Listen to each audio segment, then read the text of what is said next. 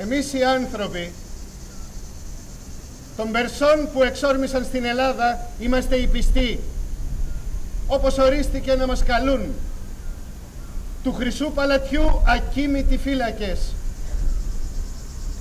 Ο βασιλιάς Ξέρξης ο γιος του Δαρίου το έθεσε θεσμό τιμώντας έτσι τη σοφία μας. Το γυρισμό εκείνου που λείπει αλλά και της πολύχρησης στρατιάς του. Όταν σκέφτομαι ότι αργεί ταράζεται η καρδιά μου σαν να προαισθάνομαι συμφορές. Φοβάμαι για τους νέους που έφυγαν τα ικανά παιδιά της Ασίας. Γιατί κανείς μαντατοφόρος, πεζός ή καβαλάρης δεν έφτασε ακόμα στις πόλεις των Περσών. Αυτοί αφήνοντας τα Σούσα και τα Εκβάτανα και το αρχαίο τείχος της Κησίας έφυγαν άλλοι καβάλα στάλογα, άλλοι με πλοία και άλλοι πεζοπόροι μια μηχανή πολέμου. Αυτή λοιπόν είναι ο Αμίστρης και ο Ορταφρένης και ο Μεγαβάτης και ο Αστάσπης, η αρχηγοί των Περσών, του μεγάλου βασιλιά βασιλιάδες υπήκοοι. Ξεκίνησαν για τον πόλεμο οδηγώντας μεγάλη στρατιά.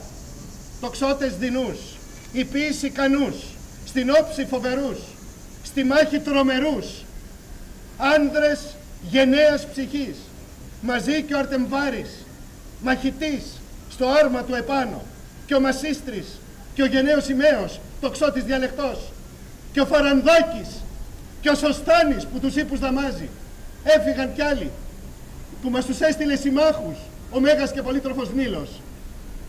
Είναι ο Σουσισκάνης και ο Πηγασταγών της Αιγύπτου γιος και ο Αρσάμις ο Μέγας Άρχον της Ιερής Μέμφυδος και ο Αριόμαρδος ο αφέντης της αρχαίας Τίβας και οι κοπηλάτες που ασκήθηκαν να διασχίζουν ευάλτους Φοβερό και αναρρύθμιτο πλήθος. Και ακολουθούν οι Εύρω στη Λιδή. Αυτούς στη μάχη τους οδηγούν ο Μητρογαθής και ο γενναίος Αρκτέας, οι αρχηγοί των πολύχρησων Σάρδεων, με χιλιάδες άρματα, δίζυγα και τρίζυγα. Θέαμα τρομερό να το βλέπεις. Όσοι ζουν κοντά στον Ιερό Τμόλο, καυχόνται πως οι ακοντιστές από τη Μυσία και ο Μάρδον και ο Θάριδης που είναι σκληροί σαν αμόνι των κονταριών τα χτυπήματα θα υποτάξουν την Ελλάδα. Και η πολύχρηση Βαβυλώνα έστειλε πολυάριθμο στράτευμα σε μήκος μεγάλο. Ναύτες πάνω σε πλοία και τοξότες με πίστη στον εαυτό τους. Ακολουθούν σπαθοφόροι από όλη την Ασία, υπάκουοι του βασιλιά τις φοβερές προσταγές.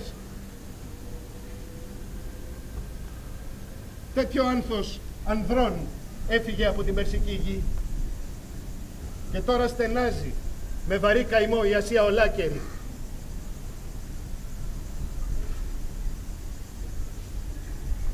Είναι οι γονείς και οι γυναίκες τους που τις μέρες μετρούνε και τρέμουν τον καιρό που περνάει. Ο πορθητής στρατός του βασιλιά θα έφτασε κιόλας στη γειτονική μας Ήπειρο, διαβαίνοντας με σχοινόδετο γεφύρι τον πορθμό της Έλλης κόρης του Αθάμαντα, στείνοντας καλοκαρφωμένο δρόμο στον αφιένα της θάλασσας. Ασυγκράτητος ο άρχοντας της Ασίας.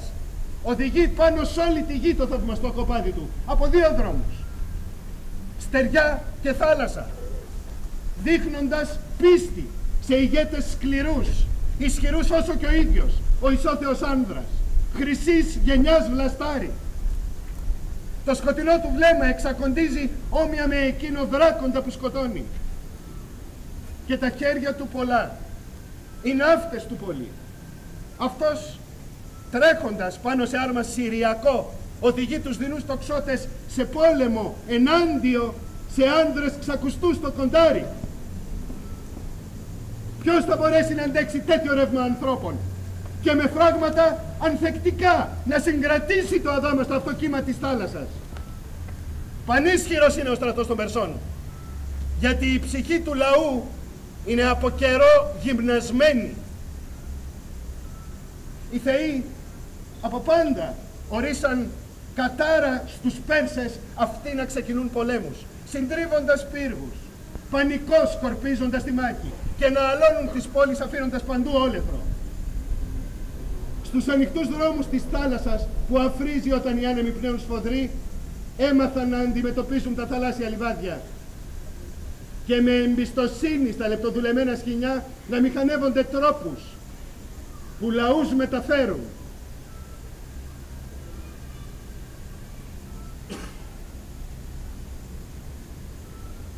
Πάνω απ' όλα και πριν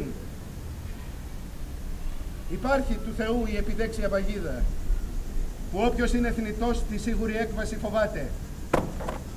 Ποιος με γρήγορο πόδι μπορεί να γλιτώσει; Γιατί πάντα η άτη γλυκαίνει τον άνθρωπο. Σαν μια πλάνη που απλώνει τα δίχτυα και από εκεί ακέραιος δεν βγήκε κανείς. Αυτό είναι η αιτία. Και η καρδιά μου φοβάται. Φόβος σας μείνει και μακριά από το στρατό των Περσών. Μήπως φτάσει μια είδηση ολέθρια στη μεγάλη πόλη των Σούσων, τώρα που είναι αφύλακτη από αξιόμαχους. Φοβάμαι μήπως τότε τον Κισίων η πόλη ακολουθήσει το θρήνο με φωνές και κραυγές γυναικών που τα ρούχα τους θα σκίζουν, αφήνοντας τα κουρέλια. Ένας ολόκληρος λαός, πεζοπόροι και υπείς, σαν μήνος μελισσών έχει φύγει, ακολούθησε τον άρχοντα της Ασίας και πέρασε τα θαλάσσια ακροτήρια, όπου ζεύοντας και τις δύο μεριές ένωσε δύο στεριές. Από το κλάμα τα διανά κρεβάτια ποτίσαν για τον πόθο του άνδρα, αφού η κάθε Περσίδα τον Ανδρείο της ξεπροβόδισε με αγάπη μένοντας έτσι παντρεμένοι, ορφανοί.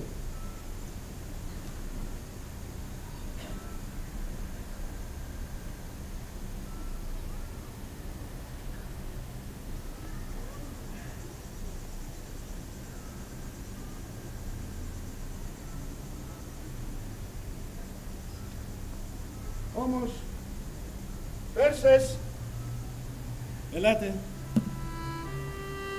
Ας καθίσουμε κάτω από την αρχαία μας στέλνη. Και ας σκεφτούμε με σύνεση.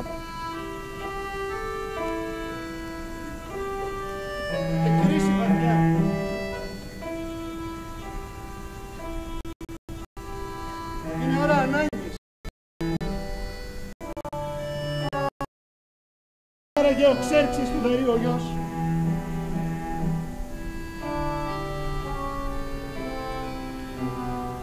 Ποιος νικά από τους δυο; Οι δικοί μας τοξότες.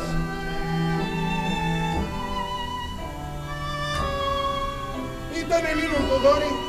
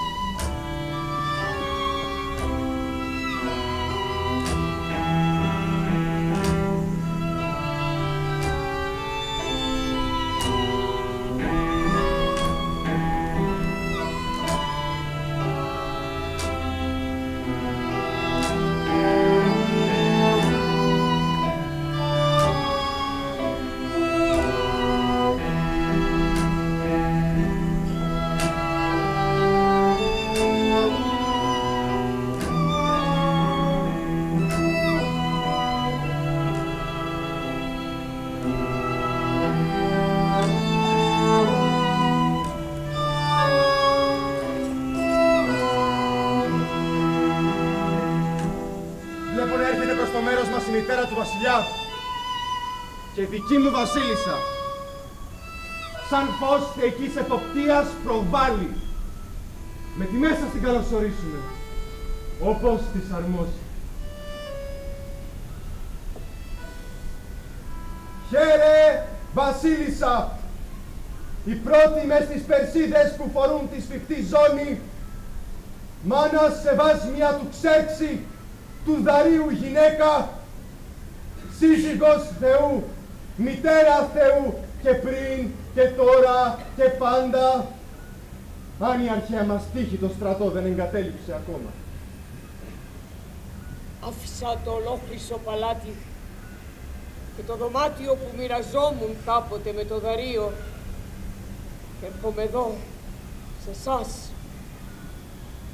Ομολογώ πως είναι σφιγμένη η καρδιά μου και επιθυμώ να σας μιλήσω. Ένας φόβος με λυγίζει. Μήπως με μια ευνίδια απόφαση σαν ξαφνική κλωτσιά ο πλούτος, ο Μέγας Θεός σκορπίσεις στη γη ως απλούτη απόκτησε ο Δαρίος με τη βοήθειά του. Μια σκέψη βασανίζει το νου μου. Ούτε τα χρήματα αξίζουν χωρίς τους ανθρώπους αλλά ούτε και οι άνθρωποι μπορούν να λάμψουν δίχως χρήματα. Δεν φοβάμαι για την απώλεια του πλούτου. Για την απώλεια των ματιών φοβάμαι μόνο. Πιστεύω πως το μόνο μάτι του σπιτιού είναι η παρουσία του αφέντη του.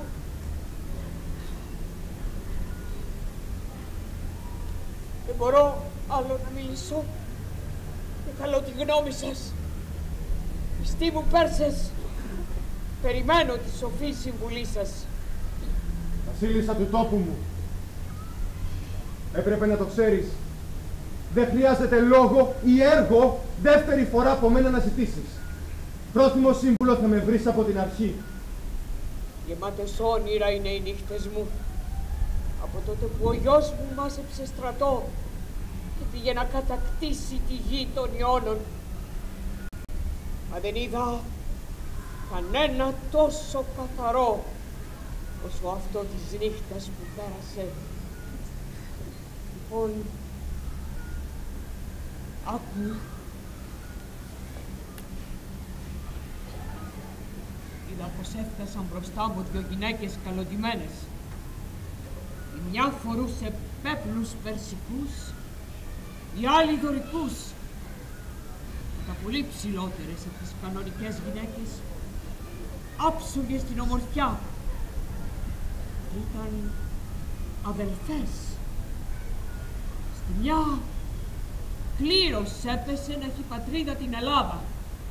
Στην άλλη τη γη των βαρβάρων. Τα φανερό πως μάλλον. Μόλις το είδε αυτό ο γιος μου, προσπάθησε να τις χωρίσει. Μέχρι που στο άρμα της έζεψε και τους πέρασε στο σβέρκο χαλινάρια. Έξενο. Η μια καμάρωνε με το στολίδι αυτό και στο στόμα δεχόταν τα γέμια υπάκουα. Η άλλη άγρια χτυπιόταν. Ώσπου με τα χέρια της το μάτιασε το δίφρο του άρματος και ελεύθερη πια άρπαξε το ζυγό και τον έσπασε στη μέση. Πέφτει στη γη ο γιος μου.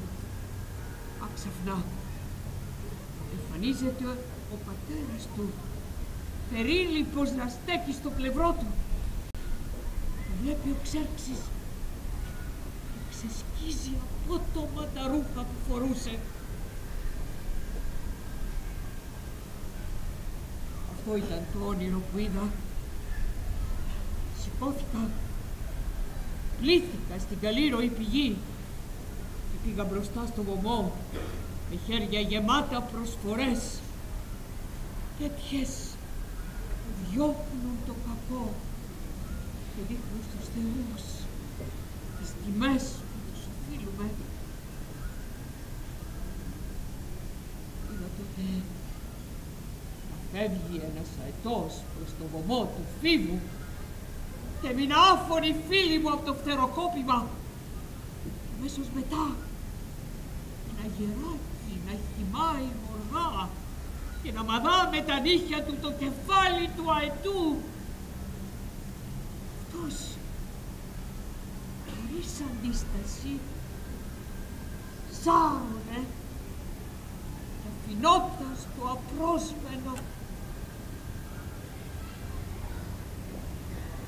φοβερό σημάδι για όποιον ξέρει να βλέπει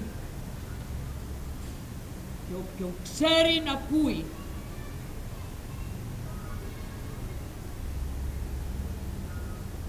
Ένα μόνο θα σας πω, να το γνωρίζετε. Αν ο γιος μου νικήσει, στην ιστορία θα μείνει. Αν όμως τύχει, το φέρει και αποτύχει, δεν θα δώσει λόγο στη γνώμη της χώρας. Αρκεί σως να γυρίσει και πάλι θα κυβερνά. Μητέρα, δεν θέλουμε με τα λόγια μας ούτε φόβο να σου δώσουμε, ούτε θάρρος στους θεούς προσευχής σου. Και αν σημαδιακό ήταν το όνειρο που είδες τη νύχτα, να το αποτρέψουν, ζήτα τους. Μια αίσια έκβαση να έχουν όλα για σένα, για τα παιδιά σου, για τη χώρα και για όσους αγαπάς. Στη συνέχεια έχεις χρέος να προσφέρεις χωές στους νεκρούς και στη γη και ολόψυχα ζήτα από τον Δαρίο, τον άντρα σου, που λες πως τον είδες τη νύχτα. Από εκεί που βρίσκεται, να στέλνεις το φως μονάχα χαρές για σένα και το γιο σου και ας συγκρατήσει τις πίκρες στου σκοταδιού τον απίθμενο κρατήρα. Αυτά σε συμβουλεύω και είναι λόγια καρδιάς που μιλάει σαν μάντης. Έτσι νομίζω. Τέλος καλό θα πάρουν αυτά για σένα. Εσύ βέβαια, ο πρώτος κριτής του ονείρου, με καλή πίστη το ερμήνευσες για το γιο και το σπίτι μου. Αν είναι έτσι, ας βγει αληθινό